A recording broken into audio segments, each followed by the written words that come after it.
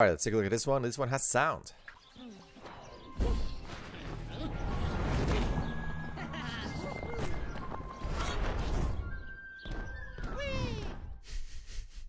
we cracked me up.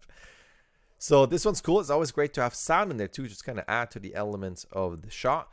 Same thing with this one as a previous one that I reviewed where there's not much that really concerns me about the animation. There's some really, I mean, it already starts off with an appealing pose. All that stuff is clear.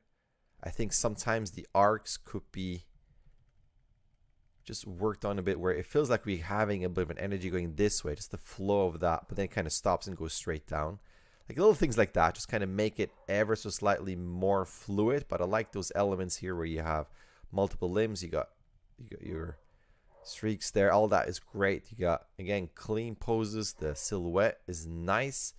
All of that is great. And sometimes again the arcs where it feels like we can just push the fluidity of those moves just a bit more, and sometimes potentially avoid stuff like that where we might see the elbow bend a bit more when it gets a bit of a short arm or potentially clearing this a bit more for a clear uh, silhouette on the fingers.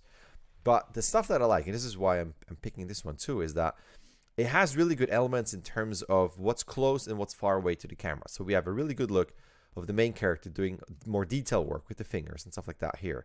And then we can go back where there's more body mechanics. It's a bit wider with the bigger poses, and the camera's further back to see all of this, which is really cool. And then I love this that we go really far out, and then you can really push the body poses into really exaggerated work and flow. And I love this. This at the end, again, you have big moves with the body, but then it ends with this going out as kind of like an extra joke. I love this. It's it's this bigger element, and I love him flying off. The couple shots where people have uh, have him roll off, fly off but I like that that succession of elements here of close up into a bit of a better view of the body with bigger moves. Now with this, and also nice implementation of 2D effects there, but just bigger moves and the progression of close to far away with a surprising element of this, of him, of him, of that creature, that rock creature here, going off.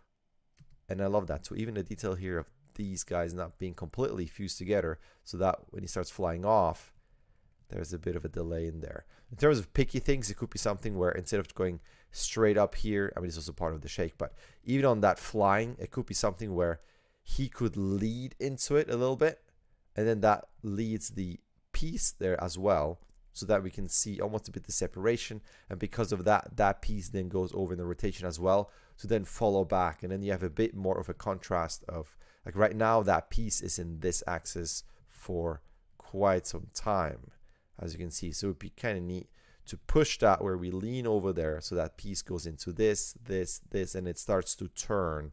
So you have that change in the flight path. I think that would be a picky note on this. But that's about that. I thought it was a really clever presentation of all those elements coming together with this fun ending of that thing coming off and him, and especially if you bring back the sound, how he gets out of here. All right, that's it. Thanks.